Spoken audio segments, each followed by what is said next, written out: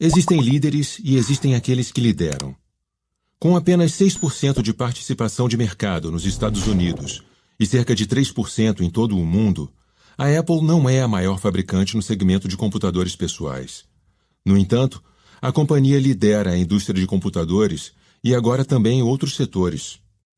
As experiências de Luther King não foram exclusivas, mas foi ele quem inspirou uma nação a mudar.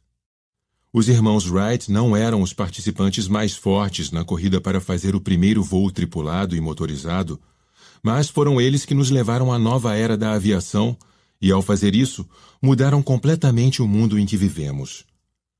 Seus objetivos não eram diferentes do que os de qualquer outra pessoa e seus sistemas e processos foram facilmente replicados.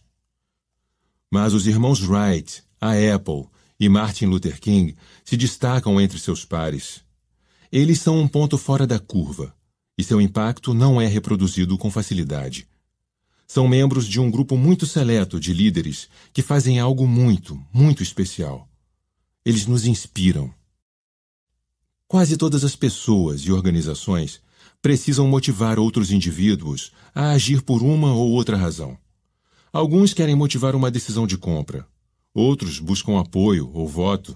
Há ainda aqueles interessados em motivar as pessoas a trabalhar com mais afinco ou eficiência, ou apenas fazê-las seguir as regras. A capacidade de motivar pessoas não é por si só difícil. Em geral, está ligada a algum fator externo. Incentivos atraentes ou ameaças de punição com frequência suscitam o comportamento desejado.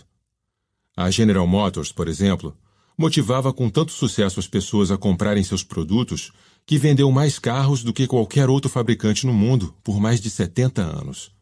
No entanto, apesar de serem líderes em seu setor, eles não lideravam. Os grandes líderes, por outro lado, têm a capacidade de inspirar as pessoas a agir. Eles oferecem um sentimento de propósito e de pertencimento que tem pouco a ver com qualquer incentivo externo ou benefício que se possa obter. Quem lidera de verdade consegue criar uma legião de seguidores que não agem porque foram levados a isso, mas porque foram inspirados.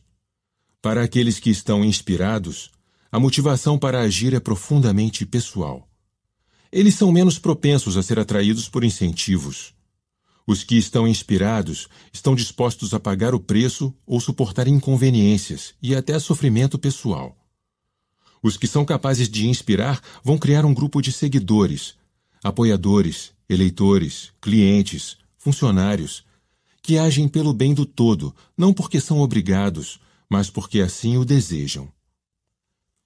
Embora em termos numéricos sejam relativamente poucos, as organizações e os líderes que têm a aptidão natural para nos inspirar aparecem em vários formatos e tamanhos.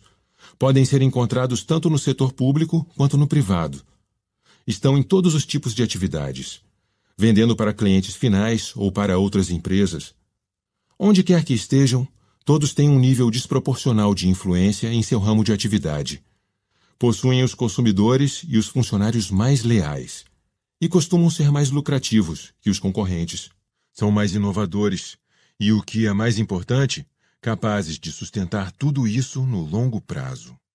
Muitos deles transformam seus setores Alguns até mudam o mundo. Os irmãos Wright, a Apple e o Dr. King são apenas três exemplos.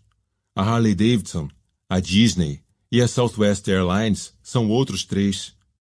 John F. Kennedy e Ronald Reagan também foram capazes de inspirar. Não importa a origem, todos têm algo em comum.